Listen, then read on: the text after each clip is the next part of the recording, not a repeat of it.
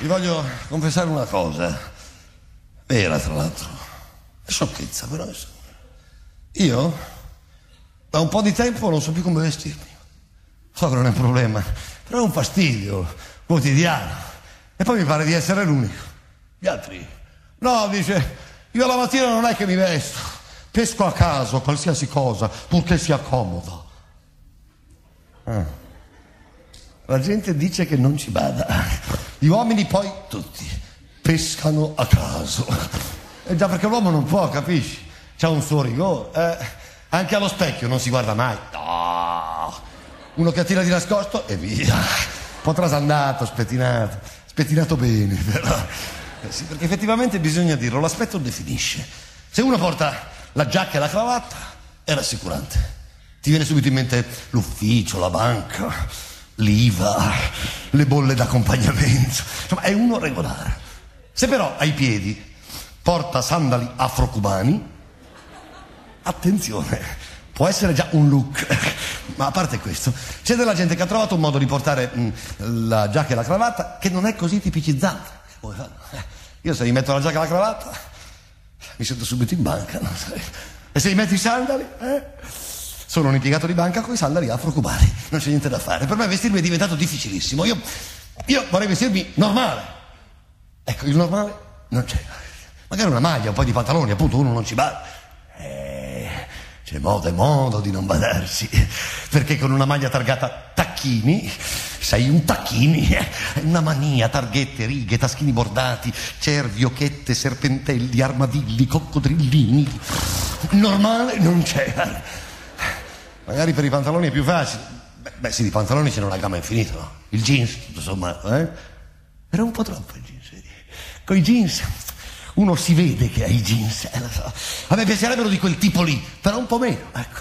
E poi la linea, il taglio, larghi di culo, stretti di culo, alti di vita, bassi di vita, larghi di coscia, corti di gamba, stretti, tutto schiacciato, stretti, stretti, a zampa. Io ne vorrei un tipo normale, eh, che come cominciano, finiscono. Non li fanno. Troppo stravaganti. Adesso devo dire, ne fanno un tipo che, che quasi ci siamo, mi convince perché, come dire, parte giusto, no? Continua bene, eh? Poi di colpo... A questo punto metto gli stivali e siamo a cavallo. Ecco, forse se uno va a cavallo in via Manzoni lo nota. Ecco, per uno come me che vuole essere normale non è possibile. Ma sì, perché per me vestirsi vuol dire sentirsi giusti, è un problema più intimo, ecco. Quando uno vuole essere in sintonia con, eh, con le cose che mette, con, con gli indumenti, eh, non sa da che parte cominciare, sai. Uno la mattina si alza, no? In pigiama. Ecco, ad esempio, sono un tipo da pigiama, io no. Come non importa, uno si alza, nudo. Alle donne piacciono quelli che dormono nudi. Chissà se è vero. Io mi alzo nudo, cerco le mutande. Uno straccettino, due o tre centimetri di stoffa, che con l'elastico. Il problema comincia già dalle mutande, capisci?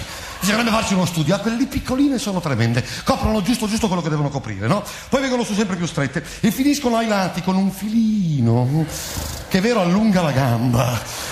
Ma non si capisce perché io devo avere gli stessi problemi di una ballerina.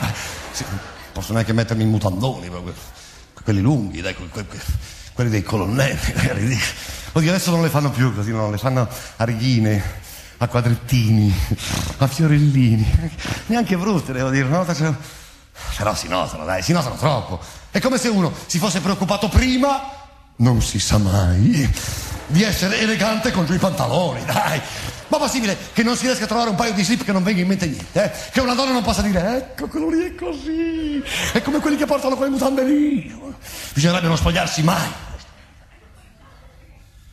Certo che anche smettere di fare l'amore, perché non si è trovato la mutanda giusta. Non è previsto neanche dalla Chiesa Cattolica. Non so come vestirmi, non, non so cosa mettere.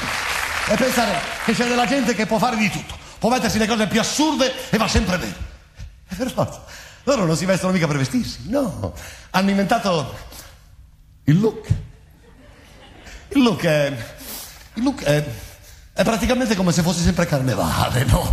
Cavallerizi, giocatori di rugby, vedove nere, cowboy, finti ciechi, arancioni, David Bovi, eh?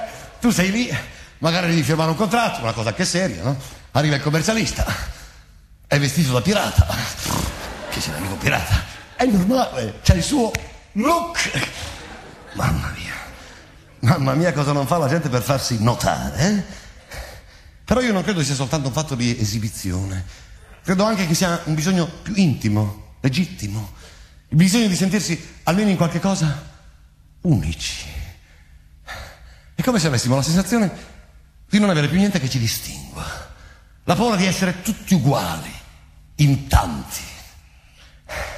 È il numero che ci spaventa, eh? Ma forse, forse abbiamo creato ancora più confusione. La massa non è un fatto numerico. Si può essere milioni e milioni, anche simili, e non essere massa, rimanere persone. Io credo che questo sia possibile.